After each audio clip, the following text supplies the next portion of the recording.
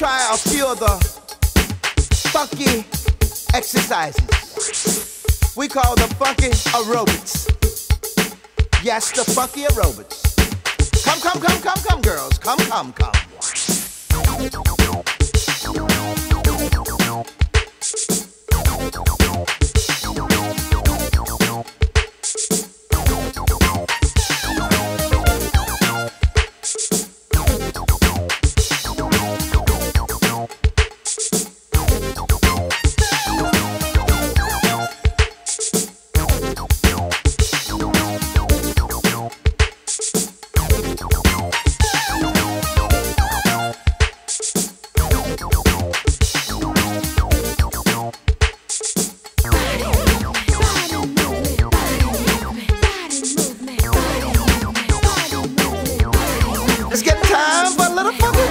Now. Little funky, a little funky aerobics.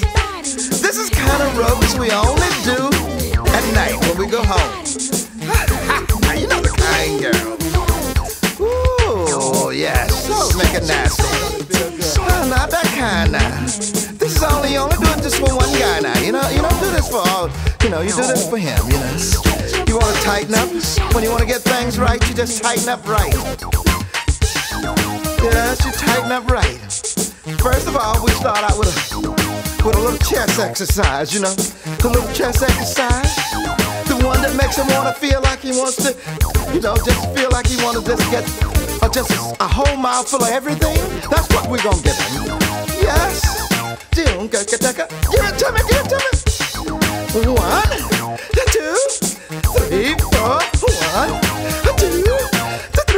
four. That's right, girls. That's it. This is what they call the funky exercise. The one we only do in the bedroom, you know? Yeah. Now, now we want to tighten up a little the tummy. A little the tummy. All right, we to tighten up a little the tummy. All right. What you do now is you hold both arms out right in front of you just work the midsection. Just just kind of rotate around. Up a, now put a little weight on your right leg and let the other leg kind of raise a little bit. That's it. That's it. Now, if this don't get if this don't get some action, I don't know, think nothing will. All right, these are the exercises that you don't tell mommy about. Yes, mommy already know them. Yes. All right.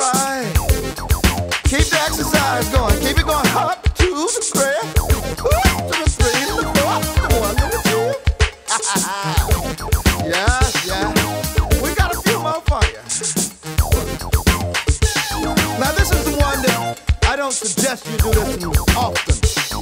This is the one what we're gonna do is tighten up the back. Give a little muscles in the back.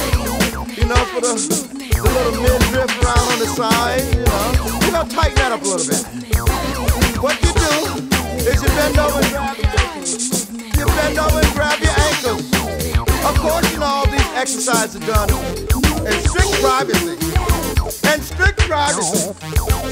You take all, all your clothes so you can have freedom to move.